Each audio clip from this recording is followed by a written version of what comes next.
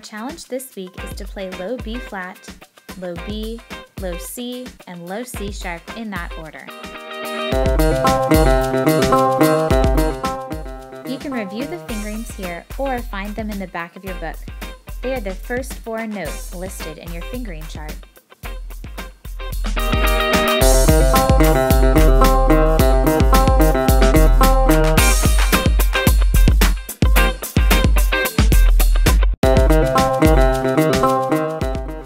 To be successful at this challenge, make sure you're using warm air, don't hit any extra keys on the side, and play with your throat more open.